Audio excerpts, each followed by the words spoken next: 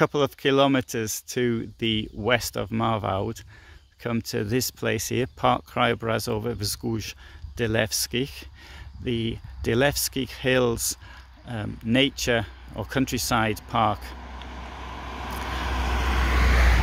And the reason I'm filming this here is because I want to show you this rather nice parking area that I've come across. So that is in an easterly direction. So that's the next town is Marwald, which is a very curious uh, village with an old church. And uh, here you can see in there I found a place for my van. It's not on park4night, but I'll have to put it on myself. Now, what uh, is interesting about something like this, I think this is a particularly interesting countryside. Now, the uh, the the hills I just mentioned go to a height of 310 meters. That mightn't sound like much, but uh, for this area, it's quite a lot. At Dylewo, which is about seven kilometers from here, there is a the former uh, prop, uh, prop, uh, property of a Junkers family. You know the uh, the landed aristocracy of this region. And in the 19th century uh, the owners who were very wealthy but not from being Junkers they were wealthy from being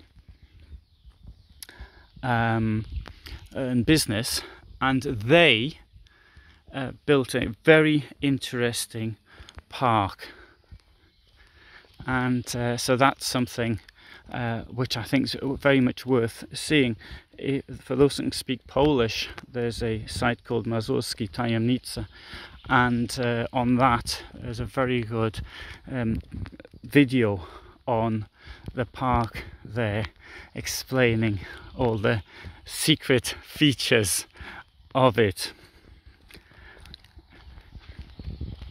Looking down the road here, the former border between east and west sorry between East Prussia and Poland is very close.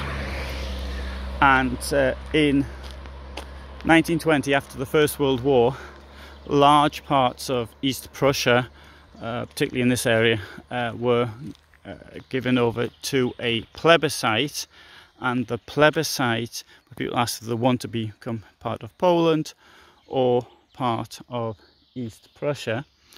And in almost everywhere the vote was for East Prussia.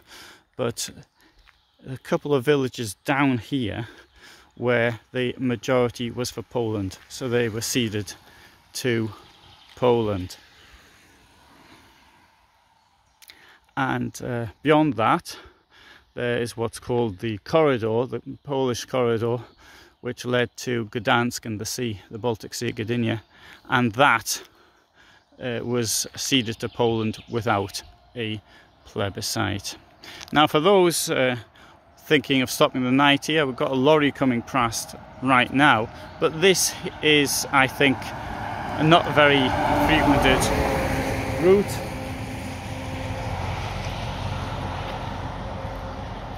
I think. So it seems to me to be the sort of place uh, would be a good place to spend the night. But one thing, I do have to make this clear, it's a forest. Okay, now it's just, it's been very wet now. The reason it's been very wet now, uh, okay, in the summer gets hot and then uh, there's torrential rain in this part of the world and as you can see that was really was torrential rain yesterday and there'll probably be it again today I feel it. But that means mosquitoes.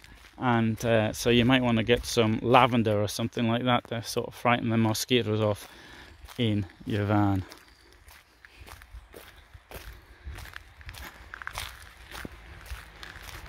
So this I think is a great place to stop get the bikes out and do some cycling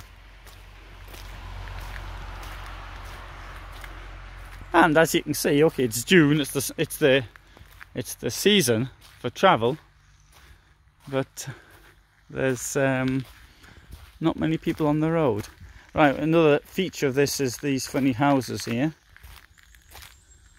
It says there that there's a uh, toilet, but um, I haven't seen it.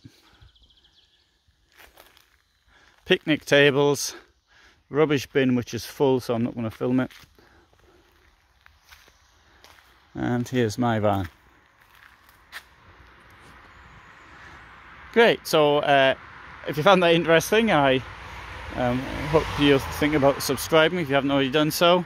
Uh, thanks for being here and watching, and I'll show more uh, places to stop during this journey. Thanks, bye.